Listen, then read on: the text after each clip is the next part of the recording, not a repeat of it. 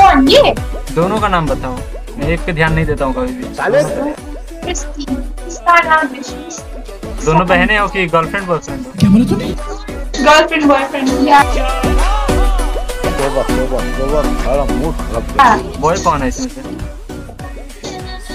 आपको क्या लगता है? सामने खड़े हो एकदम दोनों सामने खड़े हो जाओ मैं बता दूँगा कौन बॉय है। मतलब ऐसे नहीं मतलब दोनों थोड़ा अलग हो जाओ चिपक के बैठे हो तो। हाँ। वो बॉय है पिंक वाली क्योंकि तुम्हारा मतलब देख के लग रहा है कि तुम्हारे पास है लड़की वाला जो होना चाहिए क्वालिटी मतलब क्या सोच है रे तेरी? क्या देख के लग रहा है? जो दिख रहा है। हाय हाय इतना सुकून। करवाली बेचती